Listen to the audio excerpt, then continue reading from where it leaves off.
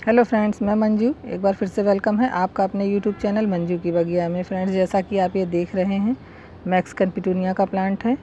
देखिए, इस समय इसमें फ्लावरिंग हो रही है। इसमें काफ़ी फ्लावर और बर्ड आए हुए हैं।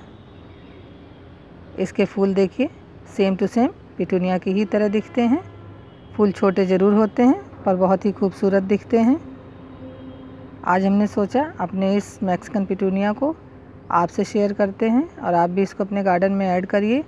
एक बार ऐड करेंगे तो ये सालों साल आपके गार्डन में रहेगा। ये लो मेंटेनेंस पर बहुत ही हार्डी प्लांट है।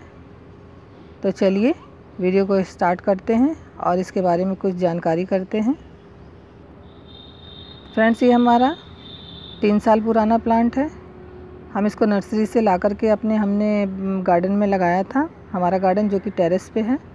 देखिए, ये फुल सन में रहता है। फिर भी ये बहुत अच्छी ग्रोथ कर रहा है। वैसे तो ये गर्मियों का प्लांट है। आप इसको लगाने के बाद चार पाँच घंटे की धूप में रखिएगा और लगाने के लिए आप इसको एक अच्छी सी पॉटिंग मिक्स बनाइए, जो वेल ड्रेन होनी चाहिए। लगाने के लिए आप इसको किसी में भी लगा सकते हैं, या पॉट में लगाना चाहें, पॉट में लगाइए, ज़मीन में लगाना चाहें आप ज़मीन में लगा सकते हैं, क्यारी में लगा सकते हैं। इसकी काफ़ी अच्छी फ्लावरिंग होती है। ये डॉर्फ वैरायटी का है। हमारे पास एक हाइब्रिड वैरायटी का भी है। अभी हम वो भी आपको दिखाएँगे। इसमें लाइट कलर के फ्लावरिंग होती है और उसमें डार्क फ्लावर आते हैं, जो डार्क पर्पल कलर के हैं। फ्रेंड्स, आप इसको कटिंग और इसके बीजों से ईज़िली ही लगा सकते हैं। ये बीजों और कटिंग दोनों से लगने वाला प्लांट है। एक प्लांट आप इसका लगाएँगे अपने गार्डन में और जब इसके बीज झड़ेंगे तो कई प्लांट तैयार होंगे। और यदि आप इसको चाहें तो कटिंग से भी बहुत आसानी से अपने गार्डन में एक से अनेक कर सकते हैं। इसको प्रॉपर धूप मिलनी चाहिए, तभी ये फ्लावरिंग करेगा। फ्रेंड्स बहुत ही खूबसूरत प्लांट है। आप इसको अपने गार्डन में ज़रूर लगाइएगा। पानी इसको आप समय समय से दीजिए। ओवर वाटरिंग मत करिएगा। ओवर वाटरिंग इसको नहीं पसंद है। ओवर वाटरिंग से इसकी जड़ें ख़राब हो जाती हैं, जिससे पौधा मर भी सकता है। तो आप इसके वाटरिंग का ध्यान रखें। आप इसमें किसी भी तरह का कंपोस्ट या फर्टिलाइज़र डाल सकते हैं। यदि आप इसमें कोई लिक्विड फर्टिलाइज़र डालना चाहें तो वो भी आप डालें। कोई दिक्कत की बात नहीं है, ये और भी अच्छी फ्लावरिंग करेगा। और इसमें थोड़ा मिली बग का अटैक होता है। उससे आप सावधान रहें।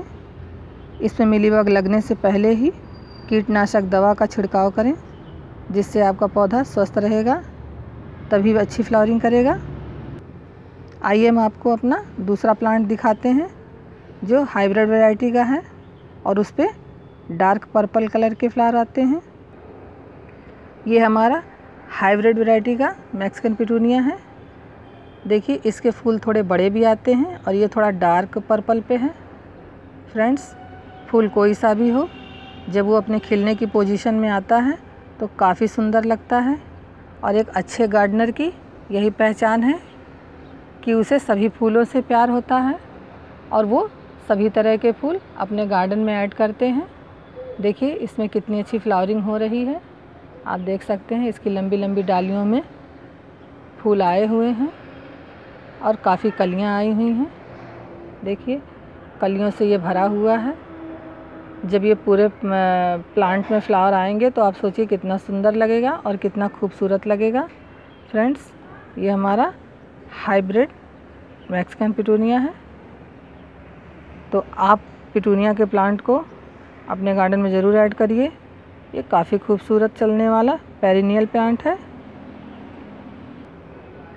फ्रेंड्स अगर एक बार इसको आप अपने गार्डन में लगा देंगे तो फिर इसकी आप छोटी छोटी बातें जो हैं, उनकी केयर करेंगे तो ये आपके गार्डन से कभी भी दूर नहीं होगा। फ्रेंड्स ये हमारी छोटी सी वीडियो थी मैक्सिकन पिटूनिया पर, जो हमने आपसे शेयर किया कि आप भी इसको अपने गार्डन में लगाइए। तो अगर हमारी ये वीडियो अच्छी लगी हो तो हमारी इस वीडियो को लाइक करिएगा शेयर करिएगा। अगर आप हमारे चैनल पर नए हैं तो हमारे चैनल को सब्सक्राइब भी करिएगा। Okay friends bye.